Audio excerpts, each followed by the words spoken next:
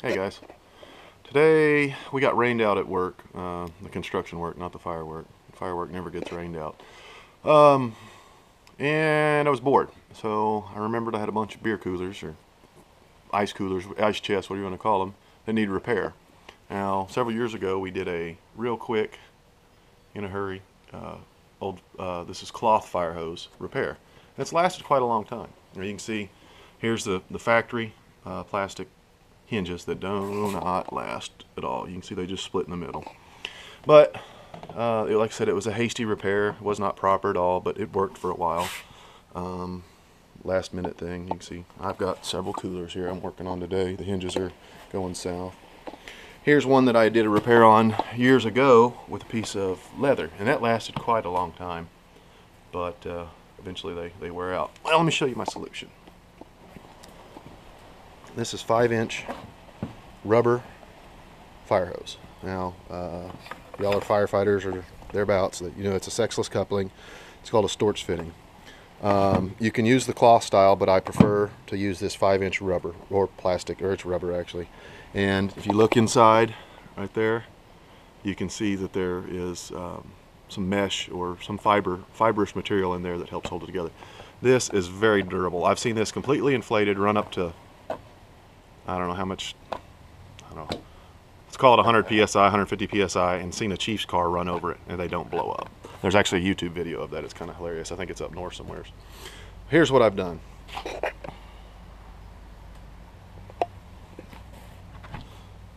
You can see it works quite well. Um, and I'll show you how I'm going to do that. Uh, one thing to notice here, um, when I, and I'll point this out why there's different sizes of these these straps. Uh, this is a lower profile lid, um, and these coolers here are all higher profile. profile. So therefore, you're going to need different sized pieces of hose.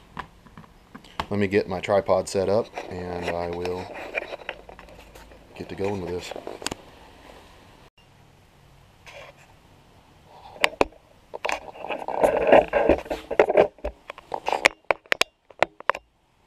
Okay, first of all, I'm gonna show you. The, first of all, I'm gonna show you the tools needed. It's real simple. A razor knife, some form of marking utensil. I prefer the Sharpie, because it marks on that plastic real well. Tape measure, or you can do two in one. You could actually use a speed square or framing square, and and that. But I'm using the I'm just using a tape measure. It's, it's carpentry tools, and a um, if you're not careful, I wouldn't necessarily use an impact or cordless drill because if you drill the screws in too hard, uh, you'll strip them out. Uh, I'm just going to go ahead and show you all this, how durable this is. This is a pair of Medic shears. And if y'all know anything about Medic shears, I think there's a YouTube video where the guy cuts a penny with it, or the girl, whoever. But I'll show you how durable this is. That is super, super, super tough. And then it just makes makes a mess out of it. Uh, so I don't use them. And here's regular, you know, the whisk straight yellow uh, metal shears, and it. These are these are good shears, you know. They're in my box, and they just they'll get through it, but they make a mess of it and tears it all up. So I don't recommend using that. So like I said, here's what we're starting with. On the bigger coolers, I'm using a five inch wide by four inch tall piece of of uh, hose and on the smaller lid one, I'm using uh, five inch wide by two and a half inches wide. Okay, let me go ahead and get set up. Okay, let me show you how easy this cuts, guys. Um, I went ahead and squared this end. That's fairly square. Mark over my four, mark down my four inches.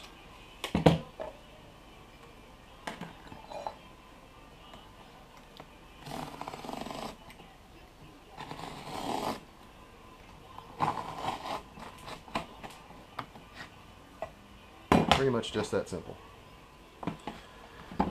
Now if you look on right here on the hose, scoot up to it, there's lines that run down it. Those lines should be fairly square. So I'm just going to go off them.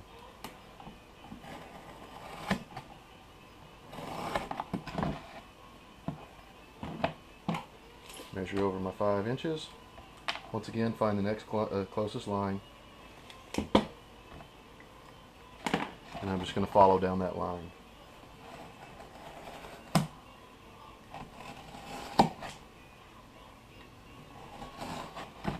There you have it. Now, I'd already cut this one, so that makes three, because I'm going to run three hinges across the bottom of it. On this guy, I'm just going to go ahead and ease the corners off just a little bit.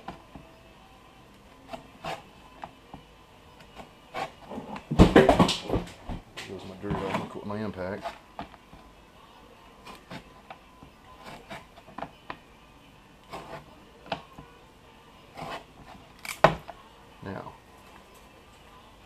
Quit smoking, but I still carry a cigarette lighter because they're handy. You don't have to do this, but it just keeps the fuzzies down.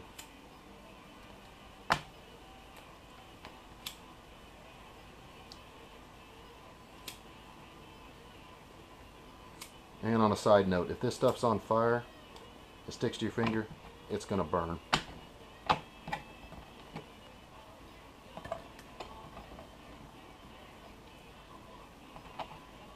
Keeping my work area clean. Picking up my mess and drop. I intended on this to be a short video, but it's probably not going to be. But see when it comes down to editing. Okay, switch sides here. Okay, I'm going to remove the old screws.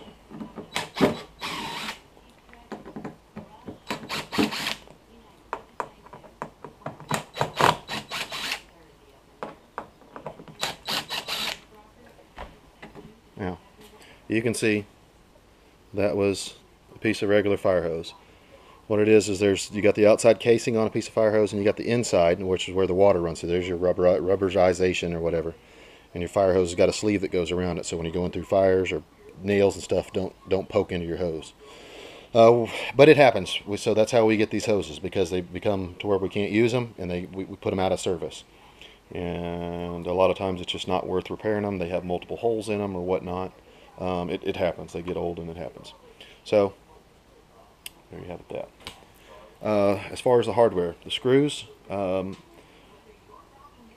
you could go back with just four. You don't actually have to have. You don't have to make them as big as this. You could literally cut them in half and do what you want. But I'm a big fan of overkill. Like I said these coolers they get used. They get used a lot. Um, so the hardware that, that you pull off the old hinges are sufficient to do the job. But uh, as you've seen on my cooler over there on the bed of the truck, um, I went overkill. And I'm going to do the same on these because they do take abuse. So on that note, what I did is I went to the local hardware store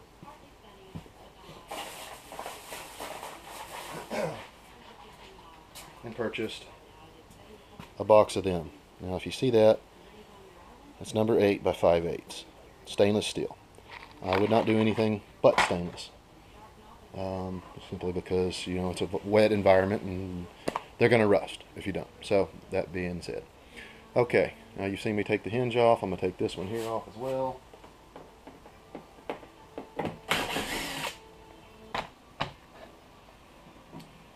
Now, with these here, I know that I want three across the top and three midsection. Now if you see I've got these lines marked in here and what that is for is working with my new tripod here. So you see where the lines mark up at. So it's all said and done. I want to have a row of three across here, a row of three across in this section, three in this section, and three down here. So I'll go ahead and lay that out.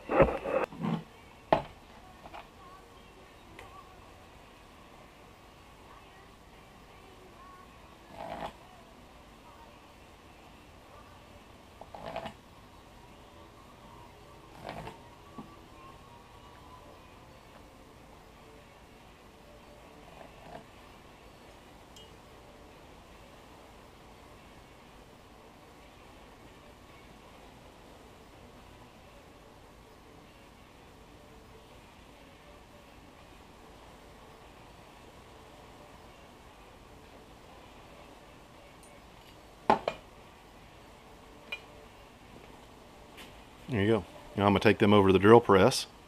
I'm going to put all three of them together.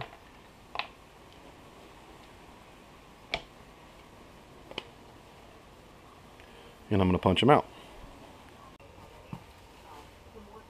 Okay, so I just realized off screen that um, I said I was going to go to the drill press and show you how to drill them out.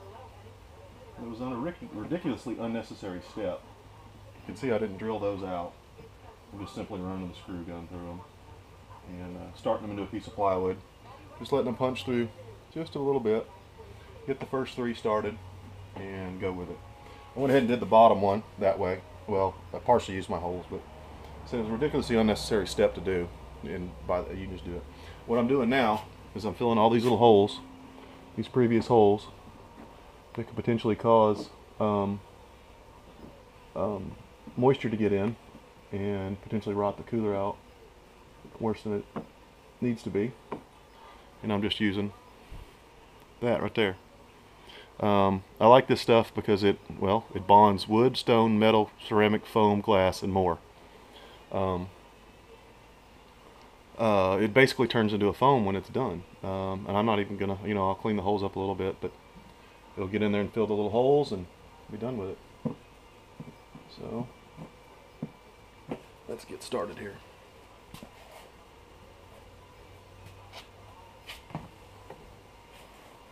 I did film the drill press setup, but I'm just going to go and delete it. It's just, we don't need it. Go ahead and start in the middle. This first one's going to fight you a little bit.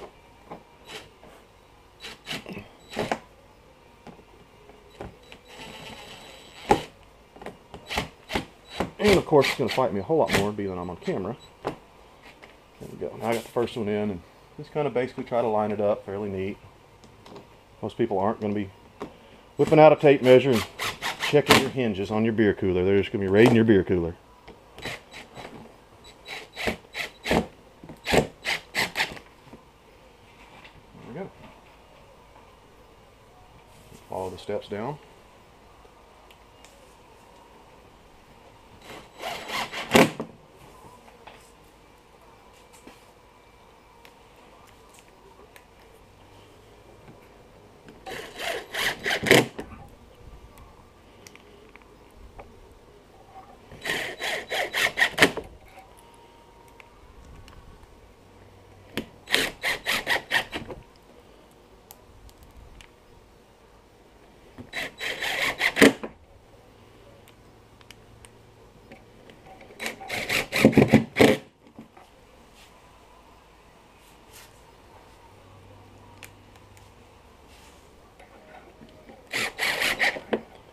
And there you go. Two more screws to go and finish the rest of the hinges and a ridiculously simple solution to a problem. Potentially, I've seen people throw away beer coolers. These coolers are, I think the last time we priced them, they're $80. Now you're asking, well, where can I get fire hose at? Well, most of your municipalities, um, well, being that if you are watching my videos, you're probably redneck enough that you can figure out where to find fire hose at. But if you're not, most municipalities, the volunteer stations will probably give it away to you. Uh, you're not going to get a new hose, you're going to get an old blown out hose. That being said, a little donation goes a long ways. I'm not saying bribery, but your volunteer stations are all donations. Uh, if you live in a metropolitan area, um, I'm not sure. Uh, I think we're friendly enough at our fire department uh, that if you were to come up, we could probably arrange it. I would like to think that most of them are. Um, and I'm basically going to do uh, second and third verse, same as the first, and I'll show you the uh, outcome when we're done with it. Follow with me. There you have it.